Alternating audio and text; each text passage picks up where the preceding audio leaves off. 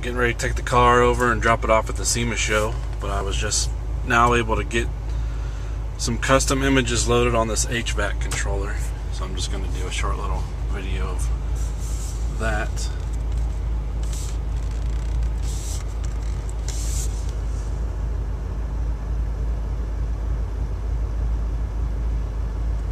That's one.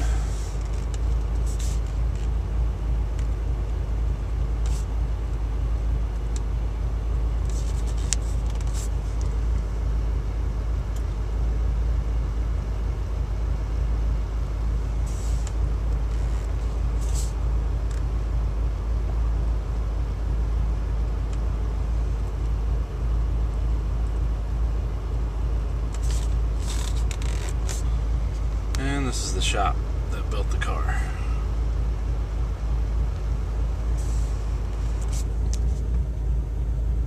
So it wasn't too difficult to do. Luckily, I didn't screw anything up. So, there you go.